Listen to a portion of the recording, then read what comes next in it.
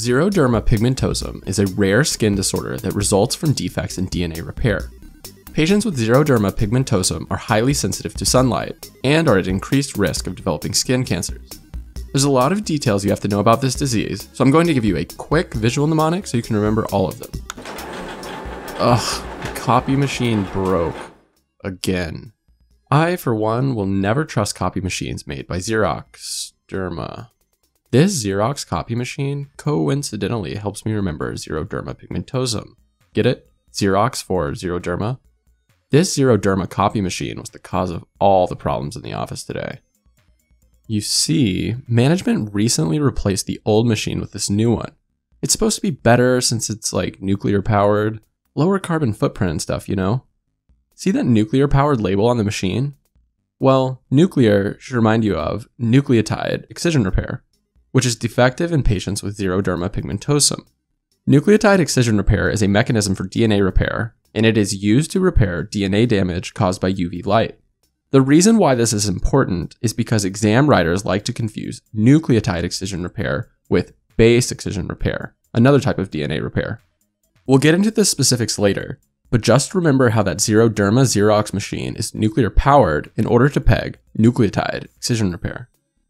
So, what's so different about a nuclear powered Xeroderma Xerox machine? Well, for one, there's a black light inside each one. Yeah, after opening up this copy machine, we were greeted with this glaring black light.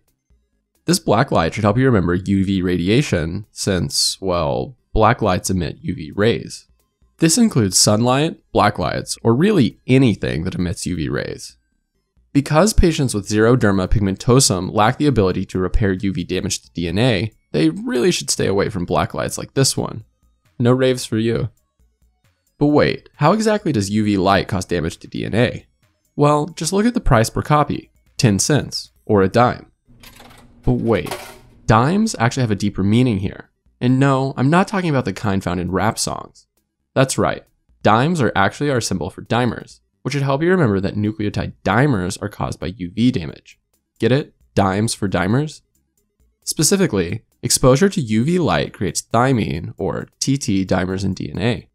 These dimers are problematic because they create kinks in the strand, blocking replication and transcription of DNA. But don't worry, because nucleotide excision repair can come in and repair these UV induced dimers. Or do worry, because xeroderma pigmentosum patients have a defect in nucleotide excision repair. The repair process actually requires seven different enzymes called XPA, XPB, XPC, and blah, blah, blah, blah, blah, all the way up to XPG. But you don't actually have to remember this. It should be obvious that the XP in the enzyme names stands for xeroderma pigmentosum. So all you really need to remember is that xeroderma pigmentosum is caused by defects in the enzymes needed for nucleotide excision repair. These defects can then prevent cells from fixing any thymine dimers created by UV light. Just remember it costs one dime per copy, you know, a dimer, and you'll have this conceptual understanding down. Now, let's take a look at my unfortunate coworker. It seems that she was not expecting to find such a bright black light inside the machine. See how she's using her arms to shield herself from the light? You might even say that she's extremely sensitive to this UV light. This picture should help you remember the sensitivity to UV light, particularly sunlight, that's observed in patients with xeroderma pigmentosum. The classic patient presentation is someone who develops rapid skin damage and severe sunburns after brief exposure to sun. This shouldn't be very surprising though. After all, these patients can't fix UV damage. And you know what a lack of DNA repair immediately makes me think of? That's right, cancer. See how this woman's skin is developing bumps and growths in response to the UV light? This picture should make you think of skin cancer, Patients with xeroderma pigmentosum are at an increased risk of developing skin cancers. You know, like basal and squamous cell carcinoma, as well as melanoma. But the skin is not the only part of the body exposed to UV light. Take a look at this woman's eyes. Yep, she's squinting in pain.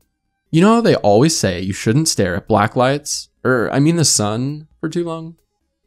This woman's damaged eyes should help you remember the finding of corneal ulcers found in xeroderma pigmentosum. Yep, your cornea uses the same nucleotide excision repair to fix UV light induced DNA damage. So, defects in this process can cause corneal damage. No surprises here.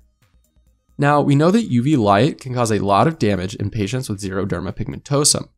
Unfortunately, there is no way to cure the disease, so patients really just have to avoid sunlight.